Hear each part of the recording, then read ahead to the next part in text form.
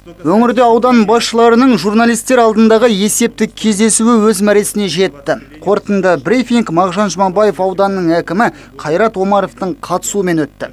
Биыл Жұмабаевтық диқандар біраз тер төккен. Олар 69 миллиард теңгенің өнімін өндіруге сүбелі үлес қосыпты.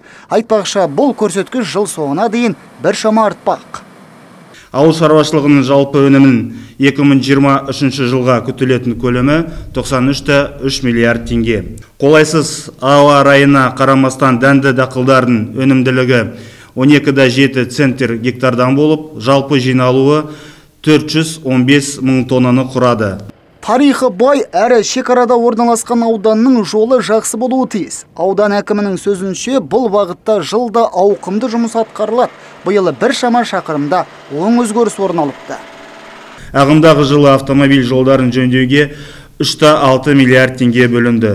Біз 12 шақырым Булаева чистая республика жол учаскесіне жөндеу жүргіздік. 2024 жылы жұмыстар қарауға өткізу пунктіне дейін жалғасады ал бұл тағы да 12 шақырымға жуық Биылғы жұмыстың нәтижесінде ауданда жақсы және қанағаттанарлық жағдайдағы автомобиль жолдарының үлесі 78 пайызға жетіпті. Халықты баспанамен қамту күн тәртібіндегі мәселе. Алдағы уақытта ауданда қоныс тойын тойлауға себеп табылмақ.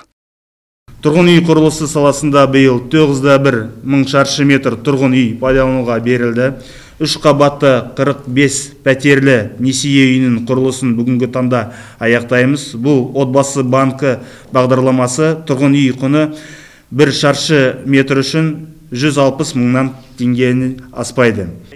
Ауданда өткір тұрған мәселенің бірі дәрігер жетіспеушілігі. Баяндамасында Қайрат Омаров бұған назар аударылғанын айтты.